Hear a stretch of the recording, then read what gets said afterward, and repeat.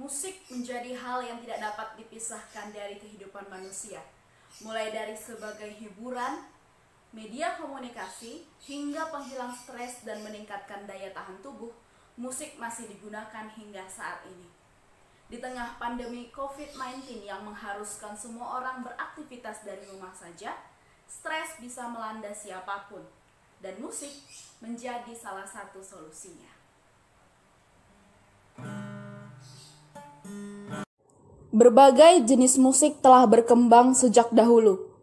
Yang pertama adalah musik klasik yang telah ada sejak tahun 1700-an.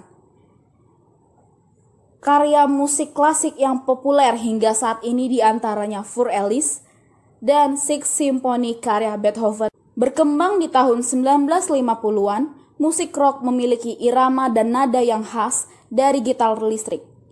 Jenis yang satu ini dapat ditemukan di lagu-lagu milik Gun N' Roses, Queen, dan Meatloaf. Jenis musik yang paling banyak digandrungi adalah musik pop.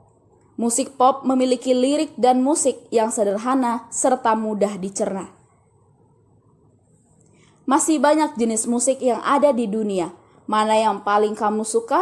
Tentu tergantung pada dirimu sendiri. Pandemi COVID-19 menimbulkan keprihatinan serta kedukaan bagi seluruh dunia, termasuk Indonesia. Hal inilah yang menginspirasi beberapa musisi untuk membuat sebuah lagu.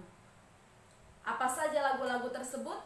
Berikut informasi selengkapnya. Yang pertama Project Pop, Gara-gara Corona. Lagu ini merupakan parodi dari lagu yang berjudul gara-gara Kahitna yang rilis pada tahun 2013 silam. Yang kedua, Roma Irama dengan virus corona. Sang Raja Dangdut Roma Irama menciptakan sebuah lagu berjudul Virus Corona. Lagu ini bercerita mengenai ketakutan, kesedihan, serta kegelisahan manusia di dunia akibat virus corona.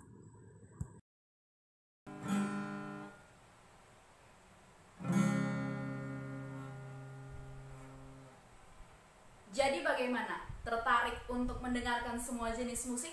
Atau bahkan tertarik untuk membuat sebuah lagu? Saya Arta Adventi, sampai jumpa di video selanjutnya.